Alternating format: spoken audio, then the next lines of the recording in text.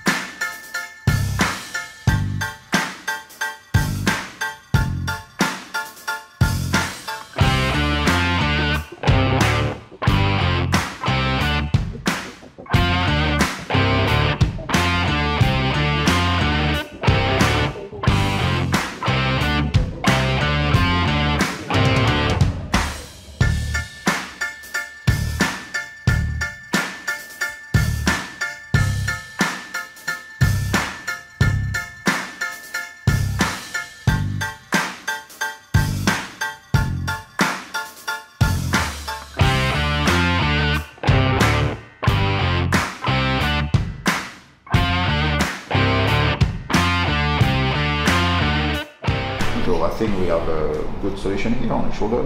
Yeah. Okay, what we did pretty good.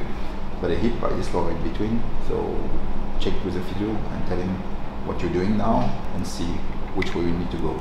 Yeah, that'd be great. It was good to see where my fitness is at, which is not very well. It will be harder and harder. That's good though, my body will be better and better. So yeah, no good, thank you so much. good. No problem. But first see the See physio physio. and see uh, after I, I will plan. Okay, okay, perfect, good. thank you very much. We give you the building blocks, but you put it together. Mm-hmm. Because when you're in the fight, it's you.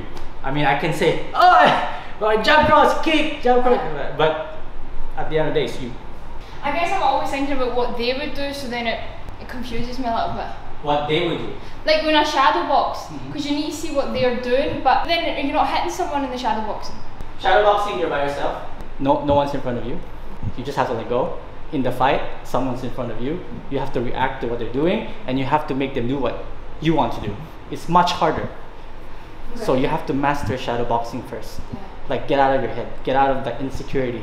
It's important. This small thing, Yeah. very important. Right, work. Let's go. So today we brought mum along to the gym to try and Muay Thai for the first time.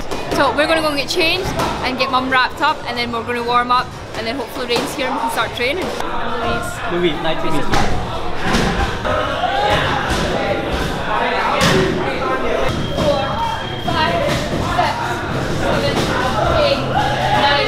Okay, so this is to protect your knuckles, your wrist, your fingers when you punch.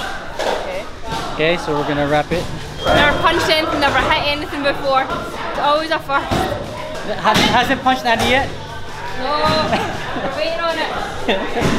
Open up a little bit wider than the shoulder, pointing forward. The left foot is pointing 45 degrees out. One, two, three. I'm gonna. It's funny to watch from the other side because obviously I'm a beginner or fairly beginner. Like looking back on someone who's starting completely new because not long, that long ago this was me. So it's quite nice to see the progress I've made in such a short time.